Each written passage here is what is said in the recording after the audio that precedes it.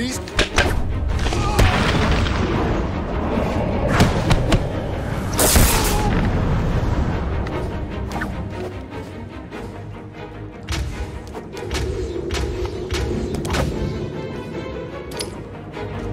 You're gonna die in Arkham